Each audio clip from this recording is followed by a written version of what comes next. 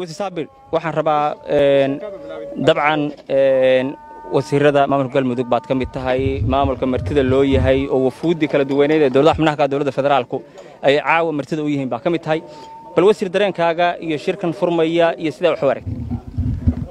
Waa mahadsantihiin aad baan idinkaga mahad celinayaa run ahaantii horta marka koowaad waxay noo tahay farxad aad u weyn.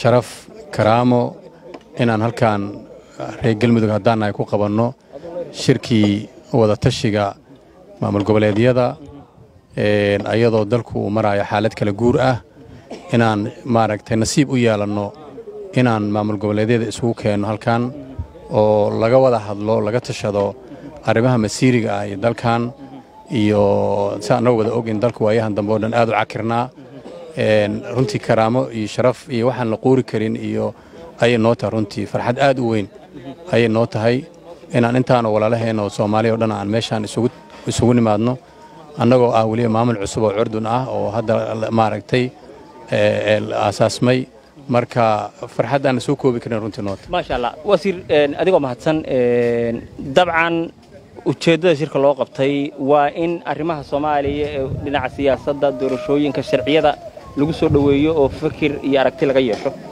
ma qabtaa inuu xal u noqon karo arrimaha siyaasadeed ee laga hadlo runtii aad baan u qabaa sidaad la socotidba soomaaliya dowladda federaalkana waa dowladdii guud ee soomaaliya. Laakiin marka in reality loo hadlo dalka waxaa gacanta ku haya oo shaqooyinka iyo ummadda oo dhan iyo shacabka soomaaliyed u haya waa maamul goboleedyada.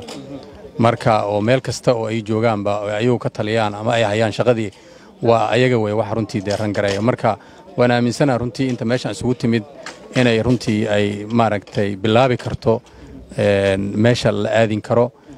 Inta dhimanna waan rajaynaynaa insha allahu tacaala in madaxda sare soomaaliyana ay qayb ka soo noqdaan shirkan si maaragtay ay aan jiha u qaadanno saxa loo baahanya haddii ilahayd marka waan aaminsana runtii in ayaguna nagu soo biiri doonaan intaana ay xal ka gaari karaan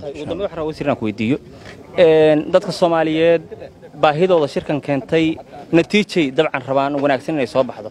Maxaa tale madaxda shirka kan ku dhiiragelin lahayd oo aad leedahay ha horseedo tan iyo tan?